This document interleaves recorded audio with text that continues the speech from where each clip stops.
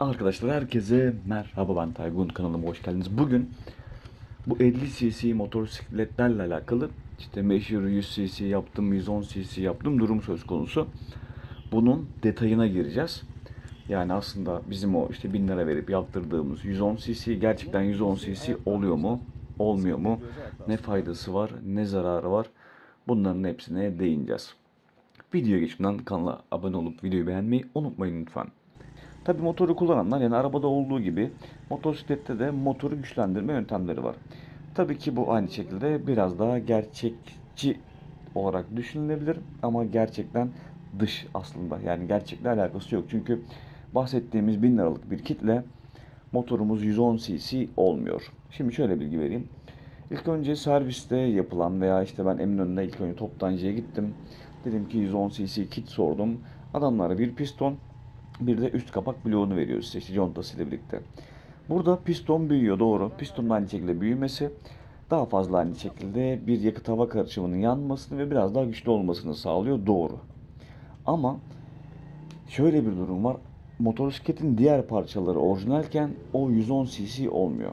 Sadece torkunu güçlendirmiş oluyorsunuz. Yaptığımız durumda motorun normalde 50 cc motoru yokuş aşağı sonuna kadar zorladığınızda yaklaşık olarak 80 km hız yapıyor.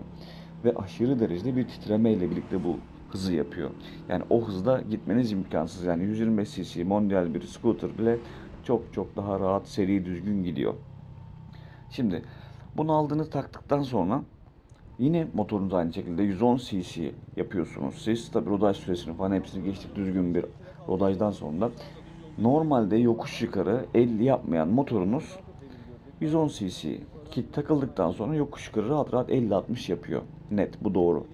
Ve çok çok daha aslında rahatlatıyor motoru ama motorun e, karbüratörü, krankı, dişlisi her şeyi 50 cc'ye göre tasarlanmış olduğu için motoru 110 cc değil 125 cc piston taksanız da krankın belli bir dönme hızı var ve bundan dolayı motorunuz yüksek hızlara çıkmıyor. Şimdi eğer motorunuzu gerçekten 110 cc yapmak veya biraz daha performans almak istiyorsanız yapmanız gerekenleri hem de aynı şekilde fotoğraflı olarak göstereceğim size. İlk olarak motorunuzu yaptınız aynı şekilde 110 cc 1000 lira verdiniz herhangi bir sıkıntı yok. Sonra önemli olan dişli. Aracın yani motorun zaten dişleri ufak olduğu için maalesef yüksek hızlara çıkamıyor. Çünkü yeterli bir kapasitede boyutta değil. Yani 50 cc'ye göre tasarlanmış. Bunun için e, kuplar için bahsediyorum. Scooterlar için değişebilir. Ön dişli normalde 12, arka dişli normalde 42 oluyor. Bunu genelde 14, 36, 14, 34, 14, 38, 14, 40 olarak kombinasyon dahilinde yapabiliyorsunuz. E, bunda benim yaptığım öne 14 dişli, arkaya 38 dişli koymak oldu. Bu vites aralıklarını uzattı ve son hızı aynı şekilde bir 20 km ekledi. Ama titreşim aynı şekilde aynı süreçte maalesef devam ediyordu. Yani motorun son hızını 20 km artırıp titreşimini de aynı şekilde 20 km ileri itmiş olduk. Yani motor 70'te titrerken şu an 85'te titremeye başladı. İlk önce ön ve arka dişliği değiştirmekte fayda var. 36 yaparsanız daha iyi olabilir ama yokuşta performansı oldukça da düşecektir. Yokuş çıkmayabilirsiniz. Yani 110 cc yaptığınız motoru tekrar 50 cc'ye çevirmiş olabilirsiniz. Şimdi bunu yaptıktan sonra önemli olan bir nokta da aslında karbüratör. Şimdi üzerine üretilen aynı şekilde PZ14 ve 15 karbüratörler ufak karbüratör ve aynı şekilde bunu istinaden memesi veya benzin veren yeri, hava akışı aldığı yeri ufak ve yetmiyor. Yani verdiği benzin motoru doyurmuyor. Bundan dolayı da aynı şekilde karbüratörünüzü değiştirmeniz gerekiyor. Bunun için de 100 ve 110-125 cc motorların işte kullandığı karbüratörler PZ20 olarak geçiyor. 150'ler PZ25, PZ30 diye devam ediyor. PZ35 yani şekilde 200-250 cc karbüratörler de kullanabilirsiniz. Karbüratörü çok büyüttüğünüzde boğuma yapar. Bu arada karbüratör son hızı etki etmez. Sadece karbüratörün işe yaradığı nokta daha fazla benzin ve hava karışımını daha düzgün motora iletip biraz daha torkunu ve çekişini arttırmaktır. Bu tarz bir kupa aldığınızda da bence ilk önce yapmanız gereken karbüratörünüzü şu an fotoğrafta attığım gösterdiğim gibi PZ20 karbüratörle değiştirmek.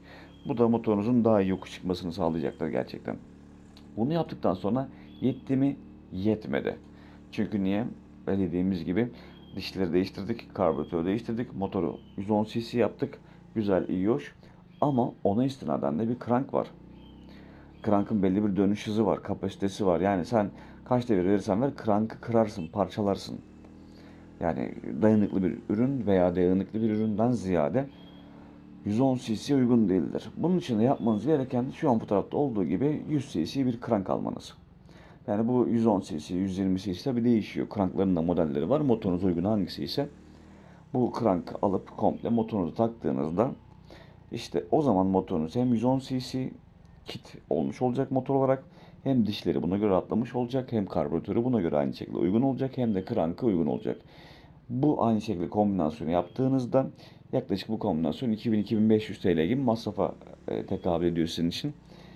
Bu kombinasyonu tamamen yaptığınızda işte o zaman motorunuz aynı şekilde gerçekten e, 110 cc gibi hareket edecektir. Ama bunların herhangi birini eksik yaptığınızda maalesef diğer parçaları da 50 cc'ye göre olan parçayı zorladığınızdan dolayı parçaları ömrünü azaltmış olacaksınız.